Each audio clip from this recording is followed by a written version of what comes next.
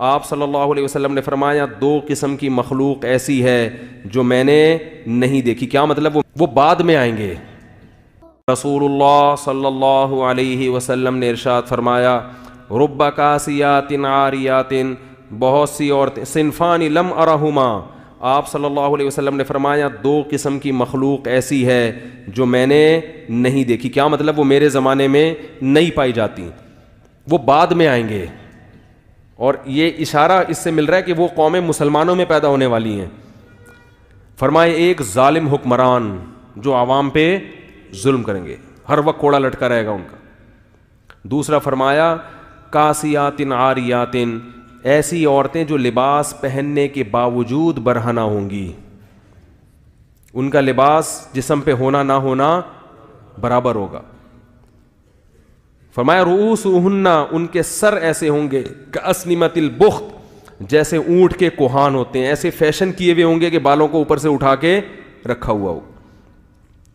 तो ओलमा ने लिखा है कि ऐसा चुस्त लिबास पहनना, जिससे जिसम के आज़ाद झलकते हों, या ऐसा बारीक लिबास पहनना, जिससे जिसम की खाल नज़र आती हो, इससे ये मतलब है कि लिबास के बावजूद क्या होंगी? बरहना, और आप सल्लल्लाहु अलैहि वसल्लम ने फरमाया ऐसे ालिम हुक्मरान और ऐसी औरतें, ला यजिद नरी हल जन्ना व इन नरी हा लयूजदुबिम मसीरती कदा व कदा। ये जन्नत की खुशबू भी नहीं पाएँगी। हालाँकि जन्नत की खुशबू तो इतने इतने साल की मुसाफत से महसूस होना शुरू हो जाएगी। इतना दूर रखेगा, चाहे ये नमाज़ पढ़ें, चाहे हज करें, चाहे ज़क़़त दें। लेकिन आप सल्लल्लाहु अलैहि वसल्लम की हदीस के मुताबिक ये जन्नत में नहीं जा सकती। कितना बड़ा हुक्म है, मगर आज इस हुक्म की धजियाँ उड़ाई जा रही एक बात मैं बार बार कहता हूँ, देखो अपनी बेटियों को प्रॉपर ड्रेस पहनाया करो। लोग कहते हैं, हमारी बेटी हमारे काबू में नहीं है। बालिग होने के बाद अगर काबू में नहीं है तो बात समझ में आती है। बच्चियाँ तो काबू में ही होती हैं ना।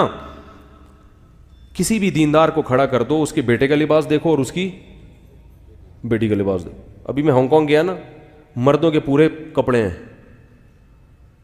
पूरे ना उनका बस नहीं चल रहा होता, मुँह भी छुपा लें वो। और इन कंट्रीज़ में खातन के कपड़े क्या हैं? शॉर्ट दो, चार स्टिकर कहीं से उधार लेके, वो भी ऐसा लगता है जैसे पता नहीं क्या तकल्लुफ। है भाई? यानी बाज एक साहब कहने लगे, इनसे बोलो कि इस तकल्लुफ की ज़रूरत क्या थी आपको? खाम खा की टेंशन। मर्द पूरे, और औरतों का वही कल्चर कहाँ आ रहा है हमारे मुआशरे में? और कैसे आ रहा है? वालदेन अपनी बच्चियों के लिए ऐसे कपड़े लेकर आ रहे हैं, अभी तो बच्ची है।